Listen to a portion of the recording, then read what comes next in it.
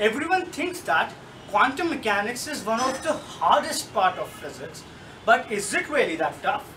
Of course it's tough, but there are easy methods to explain hard concepts. Today I am going to explain you one of the most bizarre concepts of quantum mechanics, which is quantum tunneling. French scientist de Broglie told that every moving particle has a wave character as well as the particle nature. The wavelength of a particle can be calculated by dividing the Planck's constant by the product of its mass and the velocity by which it's moving. Why don't we see the objects around us having a wave character?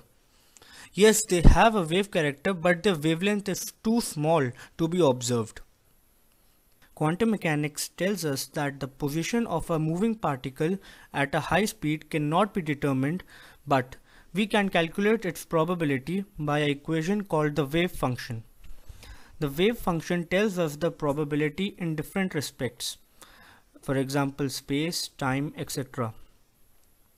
We can see that in the graph of wave function where the amplitude of the wave is high, it means that the probability of finding it is more. If we introduce a barrier in between the motion of the particle, for example, this thin sheet of cardboard. In classical mechanics, a thrown particle returns. But in quantum mechanics, the particle moves very fast.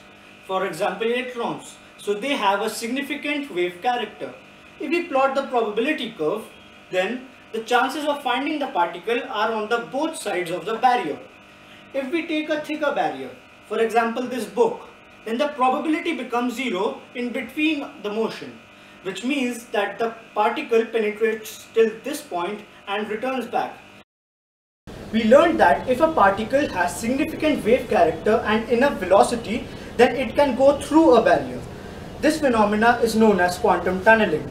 This can easily be observed inside an atom where an electron goes through the nucleus of the atom once a scientist did an experiment with photons and he discovered that speed of the photon is lesser than the speed of quantum tunneling.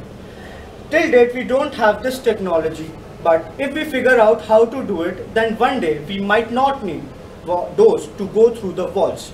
Thanks for watching my video.